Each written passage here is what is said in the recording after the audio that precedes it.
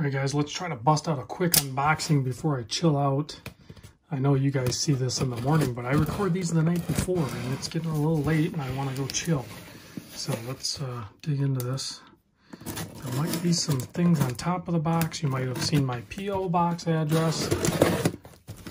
If you're going to send anything to me, make sure you check with me before you do it, because if I get packages in there that I don't recognize or weren't authorized to be sent to me, they go right in the trash right at the post office. They do not come home with me. So this was sent in by Michael.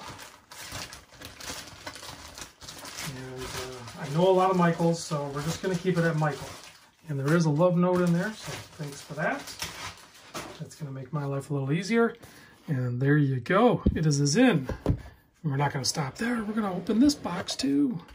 Now, I know what this is. And I think I'll probably write in the title what it is, but you won't know until right now which actual model it is. Oh, there it is. This is my first time handling the Sinn 104 in the white dial. And you guys know I'm a fan of white dialed sport watches for sure.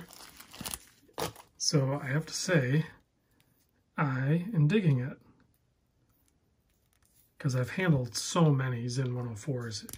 I mean, people ask me all the time about, you know, what watch should I get at what price range. If you're remotely close, plus or minus, to a Sinn 104, just get a Sinn 104. I don't care. Pick whatever colorway, or if you want the eye markers or the Arabics, just pick one and get it. Trust me, you will not be disappointed. They are a phenomenal watch, and they hold their value, if you are a serial flipper like I am, you're probably going to be okay. Now, I will do a full video on this. This one's on the leather, obviously. I would prefer it on an H-link, but this is a really nice quality leather strap, too. And uh, they, the Sinn 104 just works on so many different wrist size, guys. And that white dial is spectacular. It's going to make me weak. I know I can't afford to buy anything right now, but um, man, it kind of makes me want a Sinn 104.